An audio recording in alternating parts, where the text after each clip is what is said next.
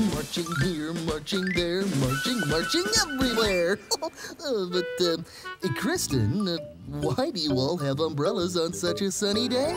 To keep rain off, of course. Oh, of course. Uh, but why do you think it's going to rain? Because I'm going to use my magic words and make it rain. Oh, I see. And where did you learn these magic words? In school from my teacher. She said four of the most magical words you can ever know are once upon a time. Wow, yes, those are very good words, but uh, I don't think the teacher meant you can do real magic with them. Once upon a time, it started raining on a sunny day. Oh, it be lots of fun, but I'm not so sure that uh, uh, hey, it really is raining. And it's still a sunny day. Oh, boy.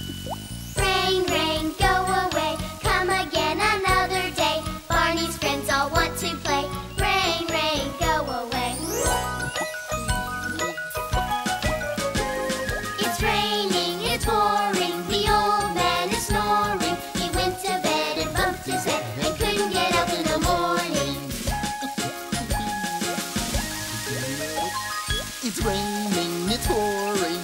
Rain, rain, go away. The old man is snoring. Come again another day. He went to bed and bumped his head Barney's friends all want to play. and couldn't get up in the morning.